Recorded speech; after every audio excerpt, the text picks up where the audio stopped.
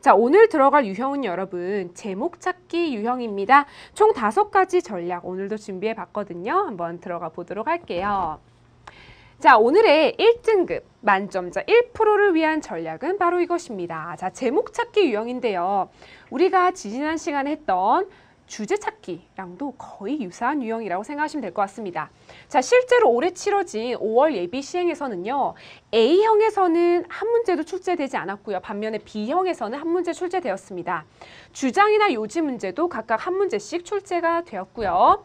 자, 2014 수능에서는 어, 2013 수능이네요, 선생님. 죄송해요. 자, 2013 올해 수능에서는 주제라던가 제목, 요지가 각각 두 문제씩 출제가 사실 되었습니다. 아주 중요한 유형이라고 볼 수 있겠죠. 자, 반면에 주장 문제는 한 문제도 나오지 않았다라는 거고요. 자, 나온 유형을 보니까 내용이 이랬습니다, 여러분. 다소 한 가지는 난이도가 하 정도 수준이었어요. 쉬웠고요. 하나는 중상 정도의 수준이었는데 성공의 전략, 그리고 탄소세를 부과하는 그러한 내용들로 기출이 되었습니다. 자, 그러면 제목 찾기 문제는 여러분들이 어떻게 접근을 하시면 좋을까요? 자, 첫 번째는 글 전체의 중심 내용을 파악할 수 있는 능력을 측정하는 유형입니다. 이 글을 읽고 난 다음에 글의 제목을 이렇게 적을 수 있는가? 혹은 이 선택지에 대한 답으로 이 내용이 나와 있는 걸 알 수 있는가를 물어본다라는 거죠. 제목이라는 것은 뭡니까, 여러분? 그래서 말하고자 하는 바가 무엇인지를 어떻게 해요? 그렇죠.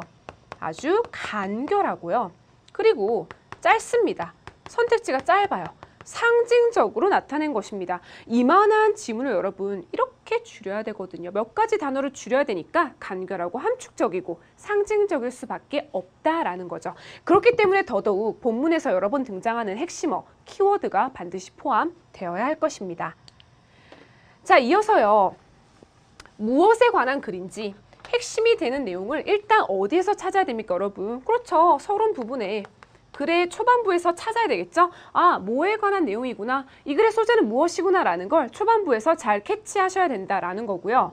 자, 인용문이라던가 속담, 격언이라던가 혹은 자 문단의 앞부분에 의문문 등의 내용이 초중반에 나온다면 특히나 여러분들 주목하셔야 되겠죠.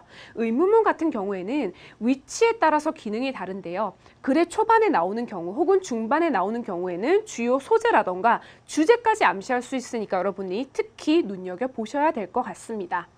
자, 이어서요. 글의 중후반부에서는 그럼 이제 어떻게 우리가 접근을 해야 되냐면 글의 제목을 뒷받침해 주거나 뒷받침해 주거나 즉 상세히 설명한다는 말이죠. 상술.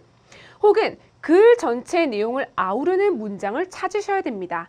중후반부로 갈수록 농도가 짙어지는 그러한 식의 전개 방식을 많이 사용할 수 있기 때문에 글 전체 내용을 아우르는 즉 그 말인 즉슨 요약을 하고 있거나 혹은 반복을 통해서 어떤 결론을 유도하고 있는 그러한 문장을 여러분들이 찾으셔야 된다라는 거고요. 자, 이어서 마지막 내용 살펴보시면 자 제목을 다 고르고 난 이후에는 그 제목으로 글을 쓴다는 가정하에 그러니까 답 그냥 동그라미 딱 치고 그 다음 문제 이게 아니라 답을 내가 만약에 이 제목으로 글을 쓴다면 방금 위에서 읽은 본문의 내용대로 전개될 것인가? 라는 생각을 하셔야 된다라는 겁니다. 지문 내용과의 적절성을 잘 검토해 보셔야 되고요. 지나치게 포괄적, 지나치게 세부죠. 일반적으로 이거 주의하세요, 여러분. 특정 소재에 대해서 이러한 답은 오답일 가능성이 높습니다. 자, 어떤 선택지만 보고 답을 하는 친구들이 아직도 있거든요. 자, 2014 수능은 그렇게 접근하시면 아마 100% 오답을 낼 가능성이 많을 것입니다. 우리가 일반적으로 알고 있는 예를 들어 환경 오염과 같은 그런 문제도요. 환경 오염에 뭐 위험성, 아, 환경 오염의 피해 이런 것들 되게 널리 알려져 있는 거잖아요. 그래서 일반적인 내용 있죠. 그 소재 보면 아, 이 소재는 이런 게 주로 답이었어. 라는 것들이 오히려 오답일 가능성이 높고요. 요즘은 여러분들이 친숙하게 알고 있는 소재라도 어떤 반전의 내용을 줘서 예상치 못한 그러한 식으로 글이 전개되기도 때문 아, 전개 어, 되기도 하니까 그러한 것들을 오히려 여러분들이 역발상을 통해서 잘 피해 가셔야 할 것 같습니다.